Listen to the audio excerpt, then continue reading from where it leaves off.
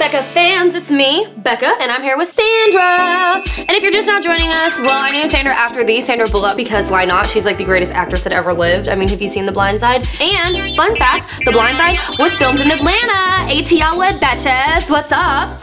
Anyways, sorry I haven't been posting recently. I've been super busy. I got this really cool job at an office. I've been there for about two months now.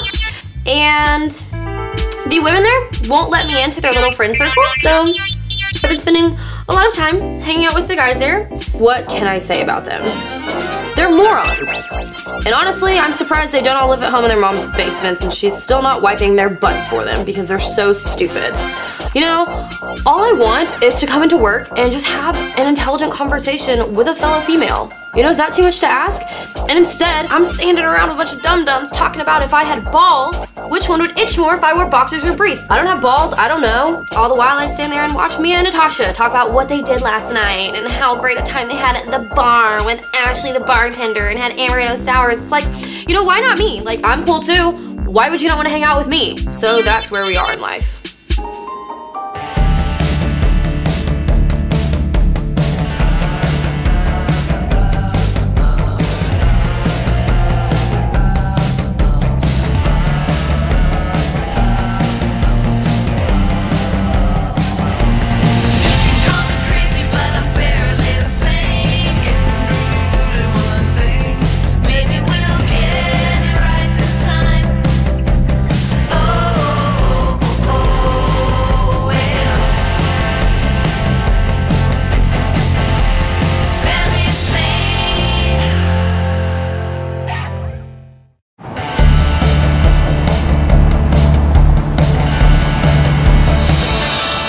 I'm not usually this hot mess, but I started today off on the wrong foot.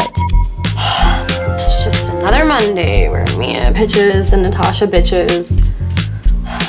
They're such whores. We've all been through it. Everyone has felt the loss, and it's unfair. Good morning.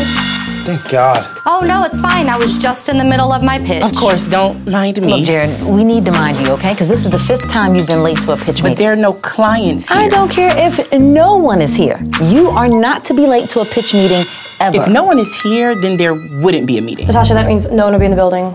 You wouldn't be in the building. Am I crazy? Am I- I can't. I have to dumbsplain everything for Natasha. Just things that like I shouldn't have to explain. You know, like no Natasha, you can't microwave aluminum foil. That's dangerous. Like I don't know, I'm sorry, my boss is an idiot. Why is she getting paid five times I'm getting paid? Because her boss is an idiot. Because everyone that I work for is an idiot. Mia, please continue. Well, I have to start from the beginning because coffee arrived. And Mia does this shake thing that drives me insane. She thinks she's like this huge marketing genius and that she knows everything. Well, I'm the one that has a degree in human behavior. So I literally know everything, Mia, and you literally know nothing. I'm not usually this hot mess, but I started today off on the wrong foot. We've all been through it. Everyone has felt the loss.